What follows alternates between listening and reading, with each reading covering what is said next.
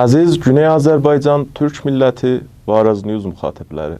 Bir başqa həftənin analizi proqramı ilə siz əzizlərlə birlikdə olacağıq. Bu həftə e, Murtəza Muradpurun İranda aclıq etisabı və İran rejiminin və özəlliklə Qüvvə-i Qəzaiyə məsullarının Murtəza Muradpur haqqında yürütdükləri cinayət adlandırılacaq məsələlər haqqında danışmaq istəyirik. Bu gün Murtəza Muradpurun 51-ci gün aclıq etisabıdır. Murtəza Muradpur Güney Azərbaycanlı bir gənc olaraq niyə tutuldu? Murtəza Muradpurun etirazı Güney Azərbaycanın yox olmasına səbəb olacaq Urmu gölü məsələsinə idi. Murtəza Muradpurun etirazı orada olan türkcəyə və türk kimliyinə etiraz üçündür. Murtəza Muradpurun hökmündə türkcə uşaq kitabı çıxartdığı görünür. Urmu gölünə etiraz görünür. Həman ki, bu gün özlərini nümayəndə məclis adlandıran və millətdən rəy almaq üçün bu məsələləri önə çəkənlər dilə gətirirlər. Murtəza Muradpur bir insani və mədəni haqq üçün İran tərəfindən tutuklandı. Hökmləri gülünc bir hökmlər idi. Urmu gölü və bilməm hər dəfə insani haqlarımızı tapdalamaq üçün bəhanə edən pantürkismi suçladılar. Fəqət Murtəza Muradpur bir Güney Azərbaycan türk gəncliyinin etiraz simgəsi olaraq 51 gündür açlıq etisabındadır. Bir zindanı nədən etisab qəza edər? Bir zaman ki, oradakı bürokrasi, oradakı adlandırılan idari prosesdə haqqının verilmədiyinin qənaətinə gəldiyi zaman, əgər bir zindanı buna ümidi olsa ki, bir sağlam sistem var. Bu eləyə bilər yasal yollarla öz etirazını bildirə və tərəfsiz bir insan və e, bu ön yargısız bunun məktubunu ya da diləkçəsini oxuyaraq bunun sözünə baxa ya dəyərləndirə heç bir zaman öz vücuduna qıymaz. Amma oradakı fisada alışmış, öz işlərini belə doğru düzgün yapmayan insanlar Murtaza Muradpuru aclıq etisabına məcbur ediblər. İranda bu qazilər, bu məsullar oxuduqları öz kitablarına belə əmələ keçirsələr, Murtəza Muradpur kimi insanların aclıq etisabı etmələrinə gərək qalmaz. Bütün hüquq kitablarında belə bir şey var. Bir insan ki, qəzavət hökmündə oturur, tərəfsiz olması lazım. Murtəza Muradpur bu gün bunun için etisab qəza edib ki, oradakı insanlar tərəfsiz deyirlər və bunun ötəsində bir qeyri-insani davranış sərgiləyirlər. Bu insanlar bu gün Murtəza Muradpurun istəkləri qarşısında daha çox qeyri-insani rəftarlar ortaya qoya bilərlər. Amma bunu bilməlidirlər ki, öz uşaqlarına və uşaqlarının vicdanına və mənsub olduqları millətin vicdanı qarşısında bunlar məhkum olacaqlar. Murtəza Muradpurun aclıq etisabı bu mədəni haqqının qarşısında qalan səssizliklərə idi. Mütəəssifanə bu səssizliyə baxdığımızda sırf İran tərəfdarı və İranda mövcud diktator hakimiyyət tə sınırlı qalmır. BBC Farssa ki özünü İrana yönəlik çalışan bir media olaraq tanıtır və ən kiçik xəbərə ki öz siyasətləri doğrultusunda olsa böyük bir yer verir və olub bir cür İranın müxalifətdəki səsi Murtəza Muradpuru sansur edir. 51 gün etisab qəza az deyil. Bu insanlar biz İrandakı türklərə və Güney Azərbaycan türklərinə o qədər rasisti baxırlar ki, bıraxalım Murtəza Muradpurun türk olduğunu. Dünyanın hər bir yerində bir insan 51 gün öz istəyi üçün etisab qəza edərsə, buna səssiz qalmaq bir insani günahdır, bir insani suçdur, bir insafsızlıqdır.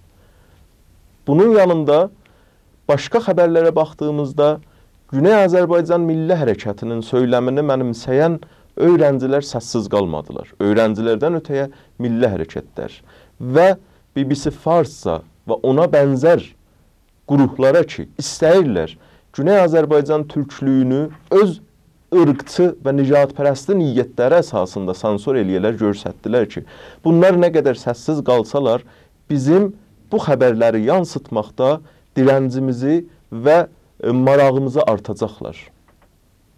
Bu gün Güney Azərbaycan Milli Hərəkəti öz içindəki fikri ayrışmalara baxmayaraq bəzi ilkələrə sahib çıxır. Bu ilkələrdən birisi siyasi məhbuslarımızın yanında olmasıdır.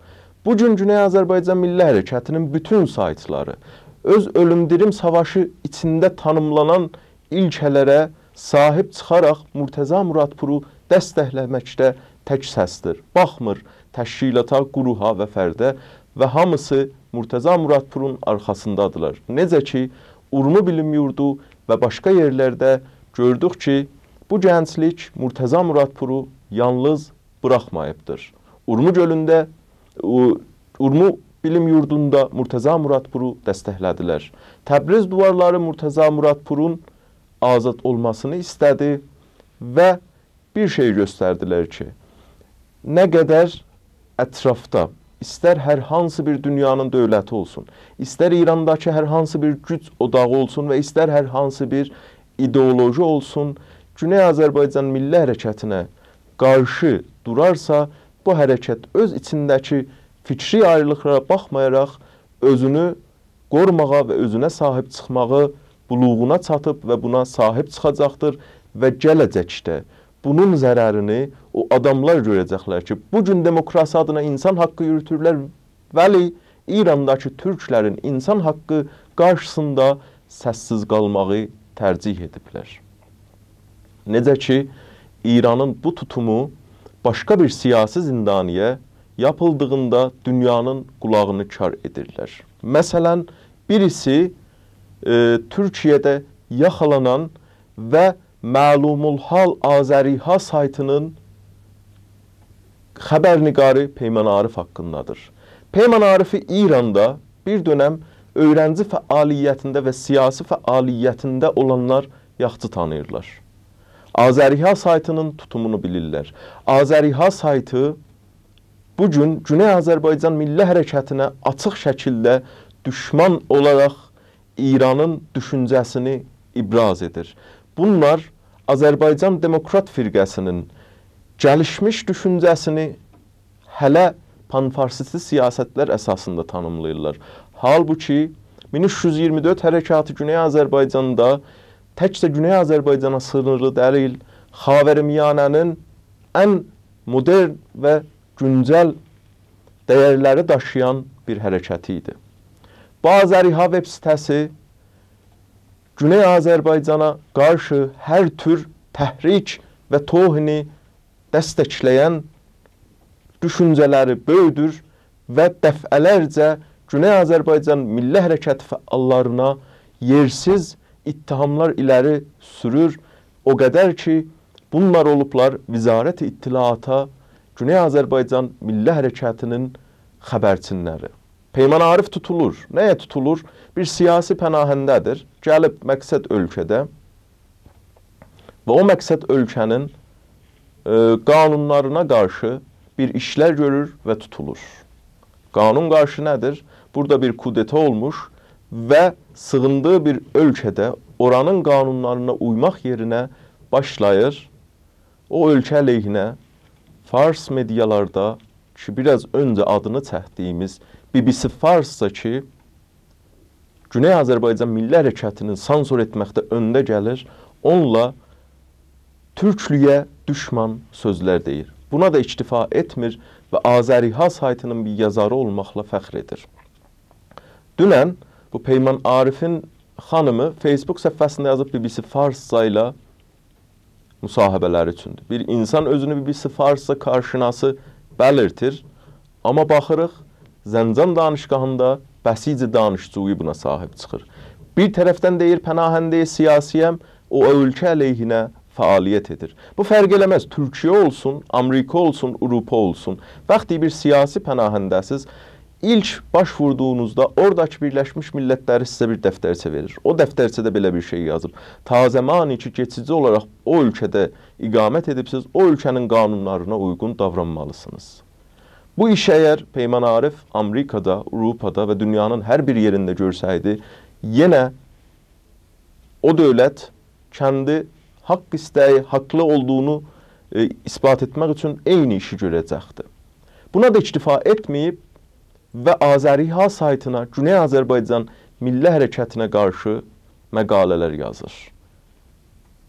Və bu gün BBC Farssa 51 gündür etisab qəzada olan Mürtəza Muradpurun etisab qəzasını sansor edərək xəbər yer verməyərək Peyman Arifin xəbərinə yer verir. Bu fəqət bunu göstərir. Bunların əlini insan haqqı sevərlər və İranda özgürlük peşində olan insanlara qarşısında açır və artıq inandırıcılıqlarını azadlıq uğruna mübarizə edən və insan haqlarını öz təməl düşüncələri hesab edən insanlar qarşısında açır. Əziz Araz News müxatəbləri, bir başqa həftənin analizi bərnaməsi ilə sizlərlə bərabər olduq. Bir başqa proqrama dək sağ qalın, şad yaşayın.